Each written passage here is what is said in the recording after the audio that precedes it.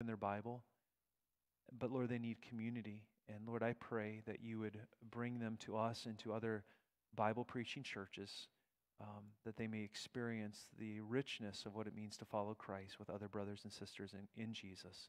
And we pray this in Jesus' name. Amen. Well, Romans 15, verses 1 through 7, is where we are this morning as we continue to work our way through the book of Romans. Did you guys hear about the two guys on a bridge? Uh, Mike is one guy's name, and Jay is the other. Mike is about ready to jump. Jay walks up on his friend, or his new acquaintance, really, and says, Don't do it. And Mike responds, Nobody loves me. And Jay responds, Well, God loves you. Do you believe in God? To which Mike responds, Why, yes. Jay's response is, Are you a Christian? Mike says, Yes. Jay goes, Me too. What denomination? Uh, Baptist. Oh, me too. Uh, uh, uh are you a Northern Baptist or a Southern Baptist? Mike responds, Northern Baptist. me too. Are, are, Northern Conservative Baptist or Northern Liberal Baptist? Northern Conservative Baptist. Me too. Uh, Northern Conservative Baptist, Great Lakes region, or Northern Conservative Baptist, Eastern region. Northern Conservative Baptist, Great Lakes region. Uh, me too. Nor- Northern Conservative Baptist Great Lakes Region Council of 1879 or Northern Great Lakes Re- Region Council of 1912. Mike responds Northern, Northern Conservative Baptist Great Lakes Region Council of 1912. To which Jay responds, Die, heretic, and he pushes him off the bridge.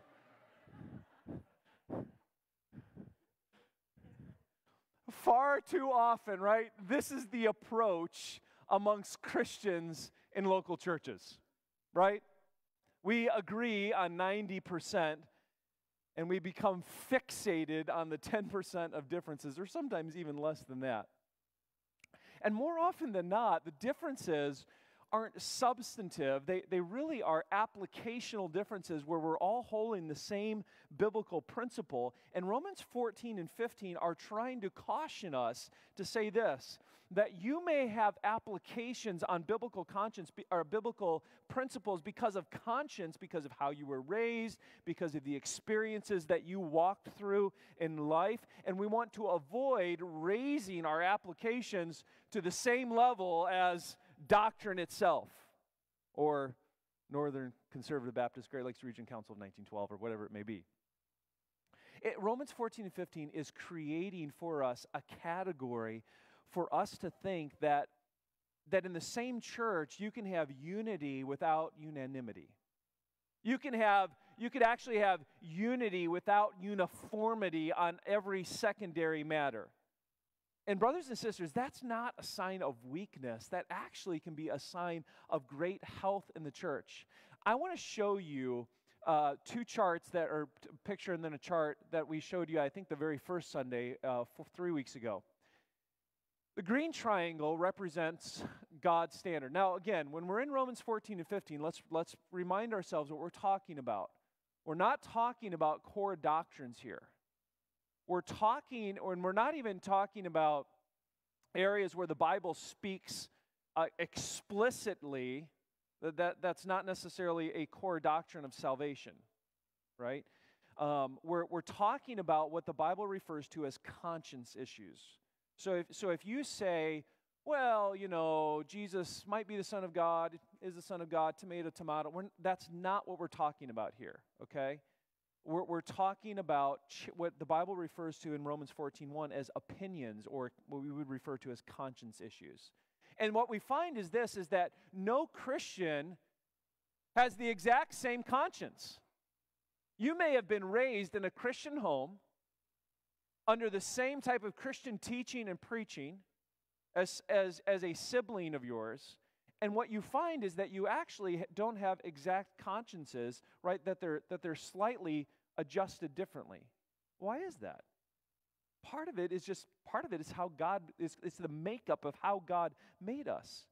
And what we've learned in Romans 14 and 15 is this, is that they're not all going to perfectly align with exactly God's standard.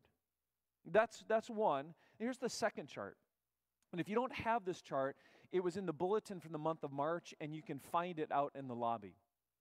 What we're shooting for is this uh, we're shooting for the three center columns that of uh, either a strong conscience there towards the center left, strong conscience directly in the middle, or a weak conscience center right. What we're, what we're attempting to avoid is the far right of that of a weak conscience, which, which sounds like this You must follow the Old Testament dietary restrictions if you want to be a Christian. That's, that's heresy. Uh, we, we don't, and some would be like, well, Pastor Joel, I would never say that. But then also, we want to avoid the, the second column to the right, which is it's sinful to eat meat, and Christians who do so are being unfaithful to God. That looks like judgmentalism. But at the same time, we have to, we have to recognize that there are, if we can put it this way, slippery slopes on both sides, right? So you can't just say, well, I'm going to be safe. Well, no, no, there's, there's also there's also another side to consider. We want to avoid heresy, which is the far left under strong conscience, which says from 1 Corinthians 10, I have the freedom not only to eat meat, but to go to parties at idol temples. Right? Paul would say no. And we want to avoid arrogance, which is the second to the left column, which says, I have the freedom to eat meat offered idols, and those who don't are being unreasonable and, you know, are just are in theological error. error. That's, that's arrogance. Where we, where we want to find ourselves is somewhere in those center three columns. Ultimately, where we'd like to all grow to is to the point where we're in the center column, strong conscience, where we have the, the ability to go either way out of love. But if we can at least push ourselves as a Christian church toward those three center columns, that's, where, that's what we're talking about. And so I have titled our that fourth message uh, in this mini series through the book of Romans, When Christians Disagree, Part 4. And the very first principle that I want you to see, it's going to be found in verse 1 is this is that the strong in faith honor God by serving the weak in faith. Uh, the, the strong in faith honor God by serving the weak in faith. Look at Romans 15, verse 1. We who are strong in faith have an obligation to bear with the failings of the weak in faith and not to please ourselves. That, that is, those with strong consciences, right? There are three issues going on here at which the, the Christians at the Church of Rome were disagreeing. There were, there were some who were eating meat, potentially uh, offered, offered to idols, unsure, right? It, it was being sold in the meat market, so that's, that's one. And there were primarily probably Jewish believers saying, no, no, no, no, don't eat that meat. You don't know where it's been. There were others, again, uh, strong conscience Christians who were drinking the wine, and the, the point there was not drunkenness. The point, again, once again, was was that wine potentially used in a worship service of some kind? And there were, again, likely Jewish believers saying, no, no, no, don't drink that wine, Gentile believers. And then there was the fact of Jewish Christians who were observing holy days or specifically Jewish holidays, holy days, and they were requiring or insisting that Gentile believers do the same thing. And Romans 14 and 15 says, wait a second, these are matters of conscience before the Lord. And so the very first principle is this that the strong in faith honor God by serving those who are weak in faith. That is, those with, we could put it this way, those with strong consciences have a solemn responsibility. And here is your solemn responsibility it is this that we have an obligation, verse 1, to bear with the failings of the weak. That the way of the way of love is to listen, to observe, and to adjust our life accordingly. Well, to adjust our lives for the sake of a brother or sister in Christ? Well, that's like that's like telling a flower to bloom in the, in the morning sun. Of course, a flower is going to bloom. For the Christian, this is what it means to follow Christ. That right, that our, our lives are not our own. You want me to adjust for the for the sake of another brother or sister? Of course I would I would do something like that. So so one more expression of what it means to follow Jesus is to consider weaker brothers and sisters in Christ so that they don't fall into sin. Look at verse 1 again. Do you see the word failings? That we who are strong have an obligation to bear with the failings of the weak? The word failings is the word burdens.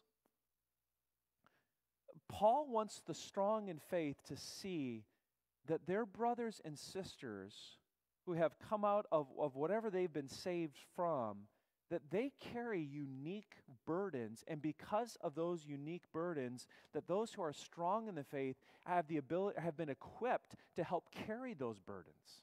That, the, that they don't have to carry those burdens, that the weak in faith don't have to, ought not have to carry those burdens alone. That as a body of believers, that we would care enough for one another, that we would carry those burdens together. Now, l- let me remind us the weak are not simply people who disagree. That, that is a key point when it comes to Romans 14 and 15. The weak are specifically those who are led to sin right? Because of the strong's freedom in whatever area it may be. And so, if you are strong, you're to carry the burdens of the weak. And by doing so, what does he say? We do not please ourselves. Uh, here, Paul is clearly identifying himself as what category would Paul uh, see himself in? He'd be the strong, right? We who are strong. He's not talked like this prior to Romans 15, verse 1. Before, it's just simply been the strong and the weak. And now, this time, he uses third person plural. We, Paul clearly sees himself in the strong category. The strong and faith Christians, then, we are not to be selfish and to pursue our own desires, but rather to pursue that which is going to strengthen everybody, specifically the weak in faith. Now, lest you think that the strong in faith are to submit to every mental reservation another believer has, I want you to think again, because that's not where Paul's going. Look at verse 2, Romans 15. How does Paul be, continue Romans 15, verse 2? Let each of us, let each, strong and the, and the weak, let each of us please his neighbor for his good to build him up. So here then is the second principle that is, that the strong and the weak please God by building one another up. Verse 1 primarily is addressing the strong. And here in verse 2, Paul's addressing both. He's, he's kind of grabbing both of them by the collar and saying, hey, listen, you're supposed to serve one another. One theologian writes it this way This does not mean that the weak control the church, that they have only to express a scruple about anything, and all rush to conform. That would mean that the church would be permanently tied to the weak. Paul is not laying down a, a rule of conduct, he is enunciating a principle of tender concern for the body. That is, we do not see ourselves in a, in a kind of a mirror of individualism. That all this is about just simply me and my desires, but rather we look through a lens of mutual building up. That is, if you identify as strong in faith, do you see how a person who is weak in faith could build you up? Or are you too busy looking down on them? If you identify as weak in faith, do you see how a strong Christian could actually build you up, or are you too busy judging them? Because that's exactly where Paul is going at in Romans 14 in the fir- very first 10 verses or so, right? That those who are strong in the faith, what are they to avoid? They're, they're, they're to avoid looking down. And those who are weak in the faith are to avoid judging. Are, are, eh, and folks, this is where humility and mutual discipleship in the Christian church come together where we actually need both and. Part of your maturing process is to be around Christians who actually think and live differently than you. I know that's hard to believe. But this is actually one reason why you ought to be a member of a Christian church. And it's why you ought to be a member of a local church, right? One of the greatest ways for you to cultivate humility is to be in a life group with someone who thinks differently about a, a topic that you actually hold kind of dear, near and dear. It's actually intended for your maturity to be around someone who thinks differently, He either has a, has a stricter conscience or a more free conscience to participate or to do things. That's part of what God's intention is for you to grow as a follower of Jesus. It's part of the humility and the love that we're supposed to be known for. And one of the greatest ways to cultivate that is to be sitting in a life group, not that not to have a life group of just strong in faith people and a life group of just weak in faith people, or to have services uh, of, of different types where weak in faith uh, uh, worship in one and strong in faith worship in another. No. That God actually has intended. So when we talk about, we talk a lot about multis around here multi ethnic, multilingual, multi generational, that it actually is part of God's process that there be a multi conscience worshiping together,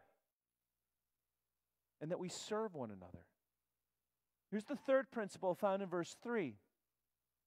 For Christ, so why are we to please our, our neighbor, to build him up? For Christ did not please himself, but as it is written, the reproaches of those who reproached you fell on me. Here's the third principle that is, the strong and the weak follow Christ by encouraging one another. You say, why? First, if the second principle is the strong and the weak please God by building up one another, and then the third principle is the strong and the weak follow Christ by encouraging one another. What, what really is the difference? I don't know that there's much difference except for that Paul takes the time to actually unpack it in greater detail. Now, at first reading, we at first reading, do you got this right? When Dorothy read this to us, at first reading, we get the connection that Christ did not please himself, therefore we should not please ourselves. Everyone got that? Like that's a pretty that's a pretty easy connection to get. But why the quotation from Psalms? Did you see that? Why that quotation? The reproaches of those who reproached you fell on me. So let's do this. You're in Romans 15. Let's turn back to Psalm 69. I want, to sh- I want you to see this connection, try, and I'll try to make the, the, the link. Psalm 69 is where Paul is quoting from. I'm going to begin reading in verse 7. So, Psalm 69, verse 7, and then we'll flip right back to Romans 15. Here we are. Psalm 69, verse 7. David is actually the one writing here, right? And he says, It is for your sake, David writes, that I have borne reproach. We could say parenthetically, as the king of Israel that dishonor has covered my face. I have become a stranger to my brothers, an alien to my mother's son. Well, why, David? Well, here's why. For zeal for your house has consumed me, and the reproaches of those who reproach you have fallen on me, David writes to our Lord. Jesus picks up that phrase from Psalm 69 and he quotes it of himself, using it of his ministry. What was Jesus? What Jesus was known for an extraordinary zeal for what? His father's house, right? That is, he actually uses language like this. And is this fascinating to you? He actually says that his meat and his drink was to do what pleased the Father. Paul, here in Romans 15, directs the Roman believers and our attention to the example of our Lord. He wants to encourage us. We are to encourage one another two ways. Number one, to follow the example of our Lord by not seeking our will and to make the Father's will our meat and drink. That zeal for the Lord's house eh, is, is what consumes us. That's one way by not seeking our own will. Here's the other way. Look at verse 4, Romans 15. For whatever was written in former days was written for our instruction, that through endurance and through the encouragement of the scriptures we might have hope. Whatever was written in former days, what's that? Well, he finishes off the sentence to say, it's the scriptures. You and I would refer to it as the, the Bible or the Old Testament, right? That is, whatever was written in former days. So this, this Old Testament, here's where here's the second piece where we're to encourage one another. Paul is endeavoring to push Paul does not divide, Paul does not separate them. Paul is endeavoring to push the strong and the weak together to the same source for mutual encouragement the scriptures. He is primarily speaking of, of what you and I would refer to as the Old Testament. That is, God intends for the strong, God intends for the strong and the weak to know each other, to know each other's burdens so well that we can use the scripture to provide encouragement and endurance for one another. So, God actually wants you to be friends with people who think differently than you do. I know that's a shocker. But again, we're talking about Romans 14 and 15 issues here. That is, we're to know each other so well that we're using scriptures to provide endurance and encouragement. That, that in the Christian church, there are no there are no holy huddles, right? Us four and no more. That we are a community covenanted together in membership where God's word is intended to reverberate among us, the strong and the weak and we are to be encouraging and building up one another. This, this is why he says, the strong and the weak, we follow Christ as we encourage one another. That's the third principle. Let me give you the, the fourth principle in just a moment. It's in verse 5, we see this kind of mini benediction, if you will.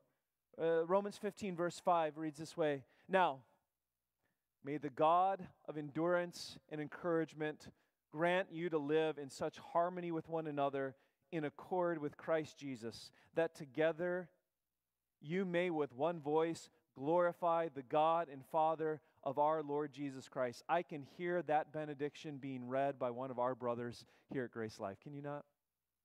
I can hear it.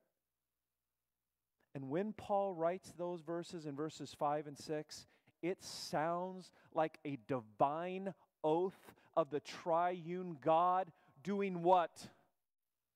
Defeating self righteous snobbery.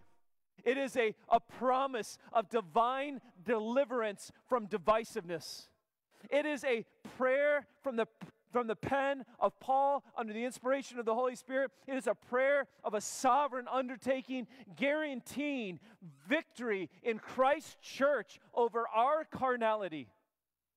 That is, the God who gives salvation is the same one who speaks through his word and gives endurance and encouragement to the weak and to the strong. Now, did you notice the five expressions of unity in verses 5 and 6? I circled them. You might want to as well. I, I circled harmony. I circled one another. Accord. Verse 6 together, one voice. And then if you want a sixth one, you could, verse 7, one another. Those six expressions of unity, why would Paul spend over 10% of a book given to the doctrine of salvation on differences of opinion over matters of conscience? Why would he do that? Do you want to know the, the, the so what? Like, what, why, Paul? Why do all this? Look at verse 7. Therefore, because of everything, Romans 14 1 through Romans 15, verse 6. Therefore, welcome one another as Christ has welcomed you. Why? For the glory of God. That's why you welcome one another. Why should you welcome and not simply tolerate? Why should you welcome and not quarrel? Romans 14:1. Why should you welcome and not divide? Why should you welcome and not simply put up with? You should welcome to worship. Why? What? Folks, I, I think I need to get this through. Why do you need to welcome and worship people who think differently about Halloween? Why do you need to welcome and worship with people who think differently about alcohol? Why do you need to do I'm just I'm trying to choose as many hot buttons as I can right now to, to kind of get it. The, the reason why is this because look how verse 7 ends. You are to welcome one another as Christ has welcomed you for this reason for the glory of God. This is, this really is a glory of God issue. And I'm talking on both sides of that, by the way. I'm not just talking on one side or the, the, the other side. And the reason why is because that's how Paul is going to speak about these issues. Because this really is a glory of God issue. Now, I want you to do this. I'm in Romans 15. Would you take your Bibles and turn to the book of Hebrews, chapter 2, and then we'll go to another passage before we eventually come back to Romans 15. So, Hebrews chapter 2. And, and there's, by the way, there's way more applications to be made than just what I, those two that I just gave, but we've, we've gone through the gamut of those. So I need not repeat them all. I want to show you a verse that God has used like a spiritual axe to my self righteousness. This verse has been God's gracious reminder to me to break me over and over again of my self righteousness. And may God do so to you as well. And at the same time, to break me of my self righteousness, God has also used this verse to put steel in my backbone when some would want grace life to be narrower than the scriptures themselves. Look at Hebrews chapter 2, and I'm just going to pick up one verse out of the middle of the con- and you can le- read the context later. Verse Hebrews chapter 2 verse 11 reads this way. For he who sanctifies and those who, who are sanctified all have one source. That is why he is not ashamed to call them brothers. I remember coming across this, this verse specifically in a Bible reading, and it dawned on me that my self righteousness toward other brothers and sisters was a shame to my God. Because if Jesus is not ashamed to call them brothers, then neither should I.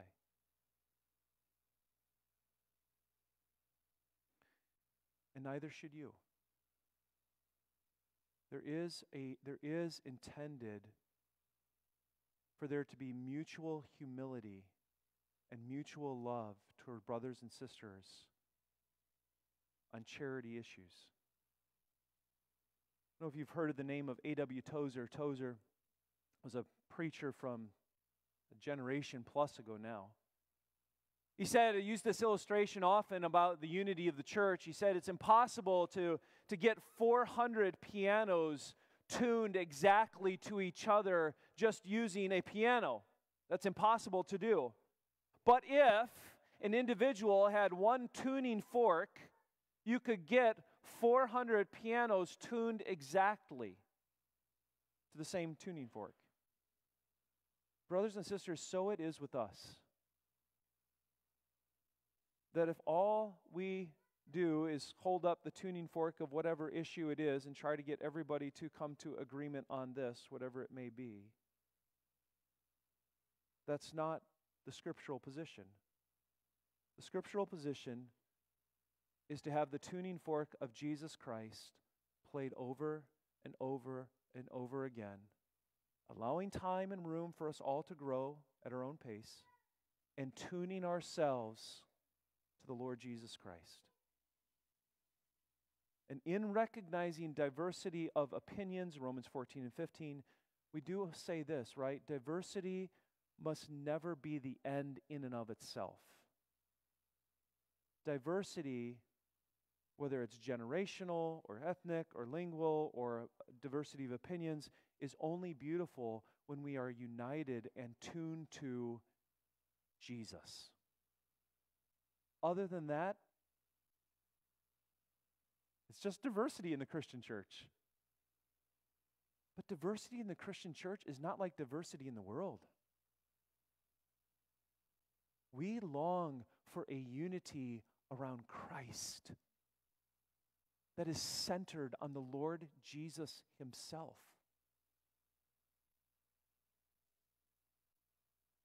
Someday, I hope it's a long time from now, I'll be dead and gone. But whoever stands in this pulpit, it is your responsibility to make sure that he proclaims Jesus over and over and over and over again. And it is quite frankly your responsibility to make sure that Joel preaches Jesus over and over and over and over again. Grace Life, I say this to you this call for Christian unity, this is not some, this is not some 21st century Western philosophy. That's not what this is. If that's what you think it is, throw that out the window because we're calling for something much deeper than that. So I want to show you where this actually comes from, not only from Romans 14 and 15, but I want you to turn all the way back to John chapter 17, known as our Lord's high priestly prayer. And I want to show you the final ending of our Lord's prayer as he prayed. John 17, verse 20, and then we'll hit Romans 15 one more time. John chapter 17, our Lord's high priestly prayer, we would say this, right? All final words are important words. Whatever somebody says right before they pass are very important. Our Lord is about ready to pass. And in John 17, our Lord prays for the unity of his body then and now. Look at John 17, verse 20. He says this I do not ask for these only. Who's the these? It's his disciples. We can maybe say the apostles later on. I do not ask for these only, but also for those who will believe in me. That's you and I, right? Those who will believe in me through their word, that is, the apostles' word. I do not ask for these only, but also for those who will believe in me through their word, that they all may be one, just as you, Father, are in me, and I in you, that they also may be in us, so that the world may believe that you have sent me. Glory that you have given, given me, I have given them, that they may be one, even as we are one. Verse 23 I and them, and you and me, that they may become perfectly one, so that the world may know that you sent me and loved them even as you loved me. Do you see that our unity in Jesus Christ is actually part of God's evangelism program? Like we're going to do a pizza and prayer walk? That's not evangelism. Giving the gospel while we do that, that would be evangelism. But part of the evangelistic program of a Christian church is that we actually are unified around the gospel of Jesus Christ. And disunity undermines that gospel. And I would say this that the unity that our Lord prays for is not a unity on secondary matters. Otherwise, Paul would have Paul would not have taught us Romans 14 and 15. Our unity is a oneness of purpose, a oneness of mission, and it is centered around the gospel of our Lord and Savior Jesus Christ. Our diversity, again, not just generational or ethnic or lingual, but our diversity of opinions on these matters actually accentuates the mission as we reach people with the gospel in our spheres of influence. Now, back to Romans 15, and we'll conclude with verse 7. Romans chapter 15, verse 7, one more time, reads this way Therefore, welcome one another. But it's a very specific type of welcoming, as Christ welcomed you for the glory of God. This is not a salesman at your door that you open the door and go, hey, how are you? And you're thinking of a bajillion ways of how you can close the door without being rude. That's not the type of welcoming. It is a welcoming like Christ welcomes. How does Christ welcome? How did Christ welcome you? Can, let me just do that for the next few moments. I've got, I think, five quick illustrations. How did Christ welcome the man with leprosy? In the, in the Bible, in the Old Testament, leprosy is often a picture of sin. Lepers were literally placed outside the Israelite encampment. When we read the story of the man who was healed of his leprosy, do you know what we should walk away with? I am the man with leprosy, and with a word, Jesus makes me whole. When we read of that demon possessed man, the demoniac of Gadara, he's got cuts and bruises and scars as he has so defaced his body because of the demon possession. He's enslaved by sin. We should say this I am the demon possessed man, enslaved by my sins. Some hideous to our culture, most very culturally acceptable, but with a word, Jesus cleanses the demoniac and he cleanses me. We are the, the deaf whom Jesus causes to hear, and we are the blind whom Jesus causes to see. And spiritually speaking, our Savior gave us the ability to hear His voice, to see His salvation in Christ.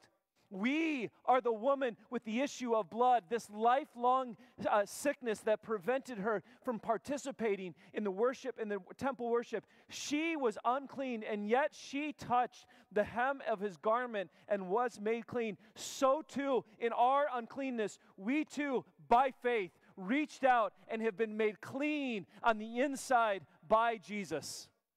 This, folks, we, you remember the, de- the demon possessed boy who often threw himself into the fire? And Jesus had to come and say to the demon, Be gone? Or do you remember the, the little girl, Jairus' daughter, who laid dead in her parents' home? In both cases, our Savior showed kindness and compassion to us. That though sin ravages us externally, like throwing that, that little boy in, thrown into the fire, or internally as the body stopped working altogether, that with a word, Jesus removes demons and gives life. And if God welcomes them, and if the blood of Christ is sufficient to cover their sins, then so it is sufficient for us to welcome and to receive one another on much lesser issues than these issues that Jesus healed. That is, if Christ did not serve himself but us, and so we ought to serve our brothers and sisters as well. And if Christ receives those with strict consciences and those with freedom of conscience, then surely we can too as well. Let's pray. Father, thank you. Thank you, thank you that Christ has welcomed us. Lord, as I finished that last portion of that sermon, would there be a tinge of kind of guilt by some who have not yet received Jesus? That they really don't see themselves as blind or deaf.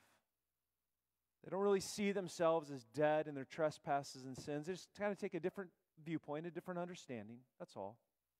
A slightly a different take on Jesus than, than maybe we would hear or than the Bible would.